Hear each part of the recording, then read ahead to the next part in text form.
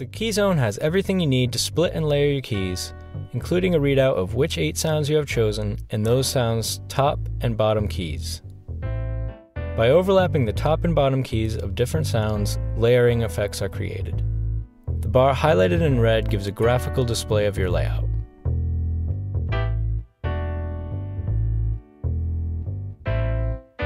This is useful for splitting bass and lead sounds or for creating complex keyboard setups.